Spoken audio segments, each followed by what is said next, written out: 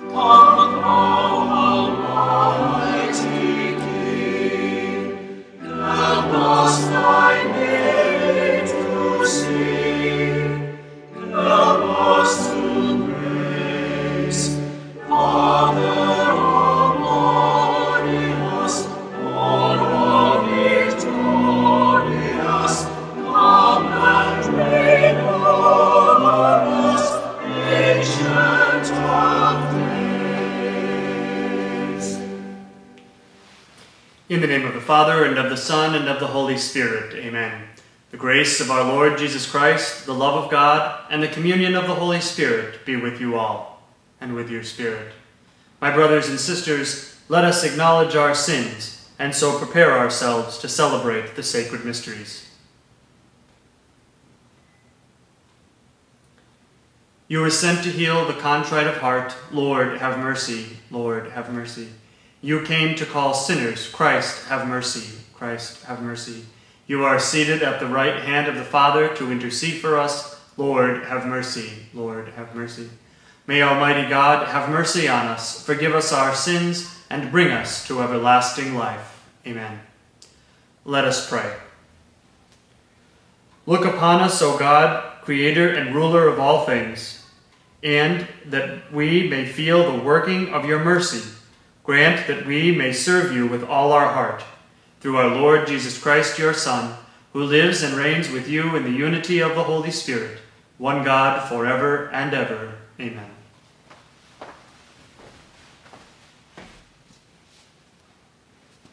A reading from the first letter of St. Paul to the Corinthians.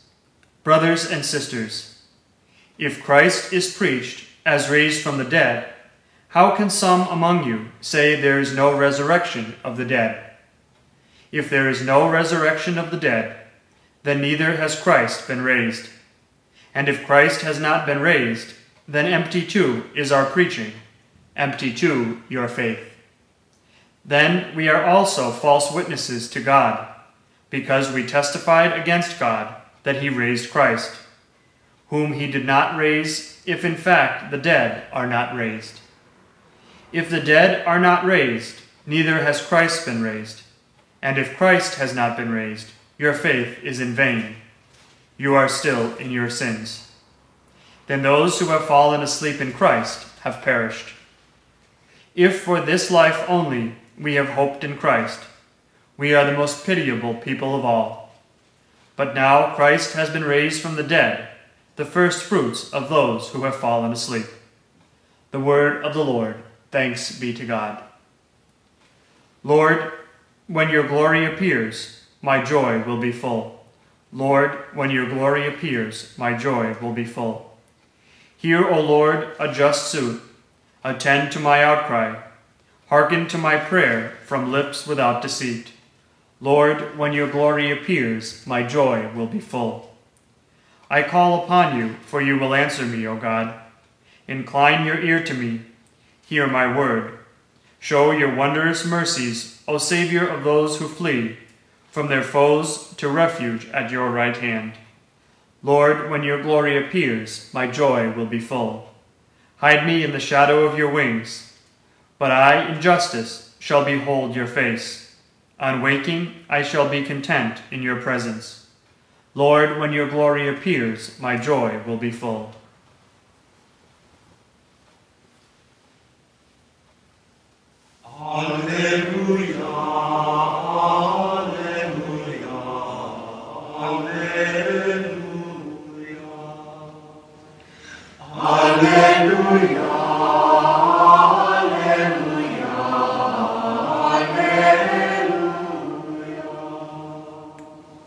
Be with you and with your spirit.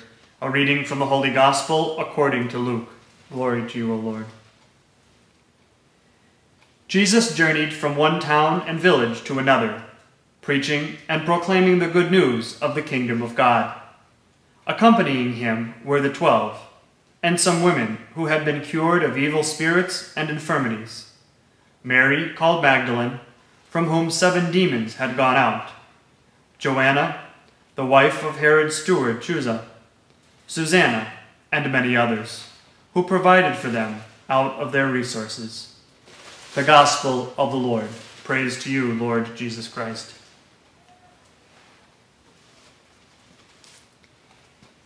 It is right to honor Jesus as the servant of all, for his purpose in life was not to be served, but to serve, and to give his life as a ransom for many. Yet he also needed people to cooperate with him. He was at times dependent on the generosity of others. And St. Luke today actually gives the names of several women Mary Magdalene, Joanna, and Susanna, as well as many others, who traveled with Jesus and helped him in his work. They provided for him out of their own resources, and this enabled him to serve many others. It is not stated whether Jesus sent out these women to preach the gospel, but they surely played an active part in spreading his message. If even Jesus needed the service of others, we, his followers, certainly do too. We are called to serve, and also called to welcome the service of others, because we need them as much as they need us. Serving others calls for generosity, letting ourselves be served, calls for humility recognizing that others can bring us to what we do not have within ourselves.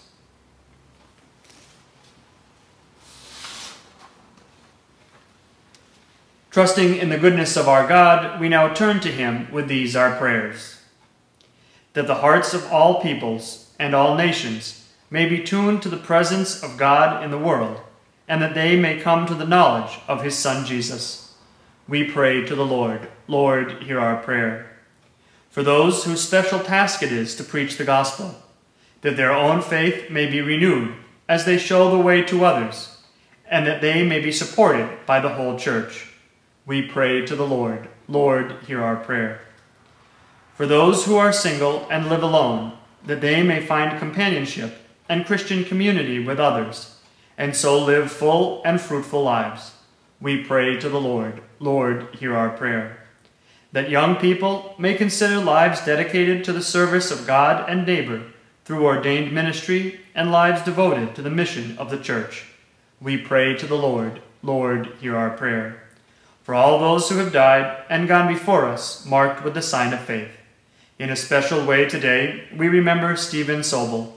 We pray to the Lord, Lord, hear our prayer for all of our parishioners who are confined to their homes due to age or illness, and for those who are in a nursing home or hospital, and for all those intentions we now offer from the silence of our hearts.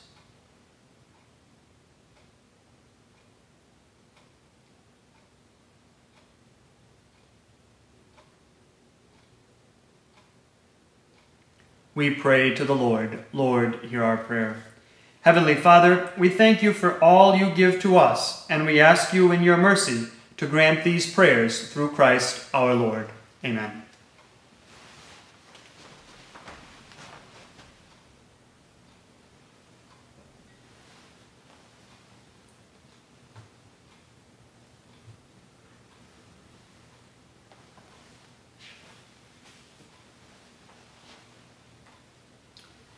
Blessed are you, Lord God of all creation, for through your goodness we have received the bread we offer you, fruit of the earth and work of human hands. It will become for us the bread of life. Blessed be God forever.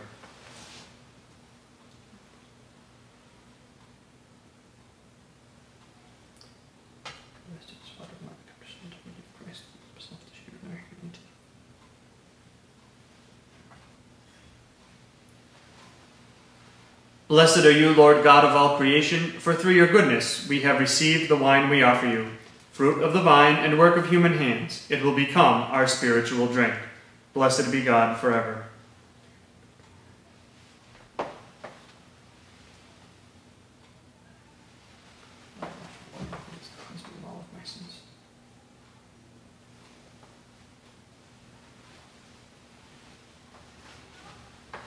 Pray, brothers and sisters, that my sacrifice and yours may be acceptable to God the Almighty Father. May the Lord accept the sacrifice at your hands for the praise and glory of his name, for our good and the good of all his holy church. Look with favor on our supplications, O Lord, and in your kindness accept these your servants' offerings, that what each has offered to the honor of your name may serve the salvation of all, through Christ our Lord. Amen. The Lord be with you and with your spirit. Lift up your hearts. We lift them up to the Lord. Let us give thanks to the Lord our God. It is right and just. It is truly right and just, our duty and our salvation, always and everywhere to give you thanks, Lord, Holy Father, Almighty and eternal God, through Christ our Lord. His death we celebrate in love. His resurrection we confess with living faith. And his coming in glory we await with unwavering hope. And so, with all the angels and saints, we praise you, as without end we acclaim. Holy, holy, holy, Lord God of hosts, heaven and earth are full of your glory. Hosanna in the highest. Blessed is he who comes in the name of the Lord. Hosanna in the highest. You are indeed holy, O Lord, the fount of all holiness. Make holy, therefore, these gifts, we pray, by sending down your Spirit upon them like the dewfall, so that they may become for us the body and blood of our Lord Jesus Christ. At the time he was betrayed and entered willingly into his passion, he took bread, and giving thanks broke it, and gave it to his disciples, saying, Take this, all of you, and eat of it, for this is my body, which will be given up for you.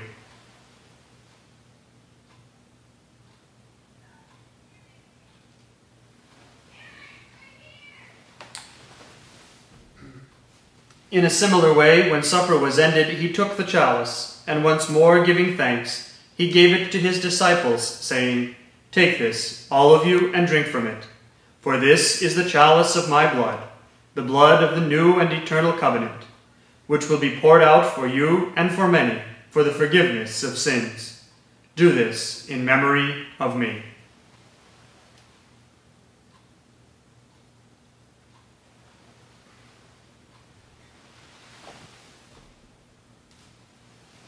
The mystery of faith. We proclaim your death, O Lord, and profess your resurrection until you come again. Therefore, as we celebrate the memorial of his death and resurrection, we offer you, Lord, the bread of life and the chalice of salvation, giving thanks that you have held us worthy to be in your presence and minister to you. Humbly we pray that partaking of the body and blood of Christ, we may be gathered into one by the Holy Spirit. Remember, Lord, your church spread throughout the world, and bring her to the fullness of charity, together with Francis our Pope, and Robert our Bishop, and all the clergy. Remember also our brothers and sisters who have fallen asleep in the hope of the resurrection, and all who have died in your mercy. Welcome them into the light of your face. Have mercy on us all, we pray, that with the Blessed Virgin Mary, Mother of God, with blessed Joseph, her spouse, with the blessed apostles and all the saints who have pleased you throughout the ages, we may merit to be co-heirs to eternal life, and may praise and glorify you through your Son, Jesus Christ. Through him, and with him, and in him, O God, Almighty Father, in the unity of the Holy Spirit, all glory and honor is yours, forever and ever. Amen. At the Saviour's command and formed by divine teaching, we dare to say, Our Father, who art in heaven, hallowed be thy name. Thy kingdom come, thy will be done, on earth as it is in heaven. Give us this day our daily bread, and forgive us our trespasses, as we forgive those who trespass against us. And lead us not into temptation, but deliver us from evil. Deliver us, Lord, we pray, from every evil. Graciously grant peace in our days that by the help of your mercy we may be always free from sin and safe from all distress, as we await the blessed hope and the coming of our Savior, Jesus Christ. For the kingdom, the power, and the glory are yours, now and forever. Lord Jesus Christ, who said to your apostles, Peace I leave you, my peace I give you, look not on our sins, but on the faith of your church, and graciously grant her peace and unity in accordance with your will, who live and reign forever and ever. Amen. The peace of the Lord be with you always, and with your spirit. Agnus Dei, qui tollis peccata mundi, miserere nobis. Agnus Dei, qui tollis peccata mundi, miserere nobis.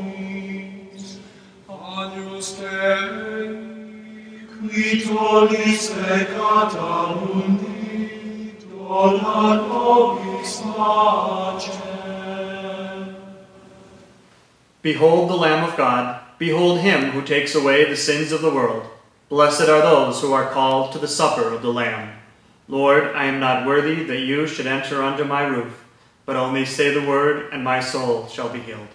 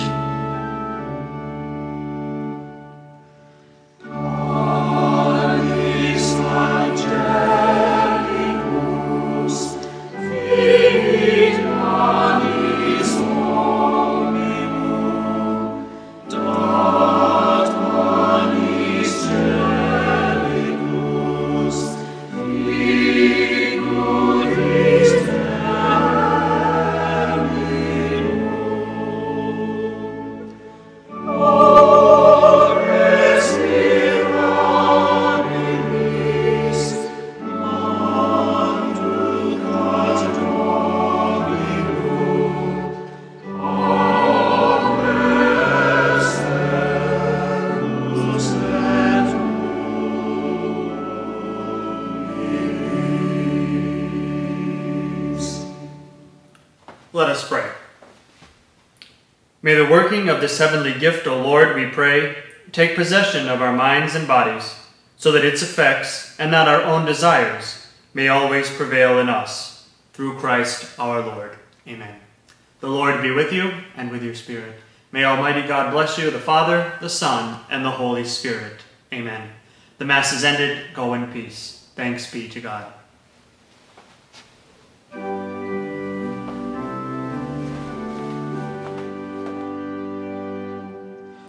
Oh.